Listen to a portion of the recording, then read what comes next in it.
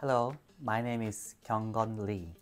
I'm an assistant professor of chemistry education in the Natural Sciences and Science Education Department at NIE.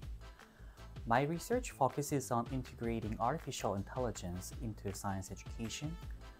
This includes areas such as automated assessment, human AI collaboration in learning, and providing assistance for laboratory practical work.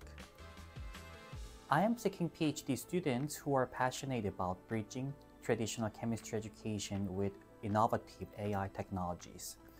Together, we will explore the future of chemistry education with a focus on how to achieve whole person education.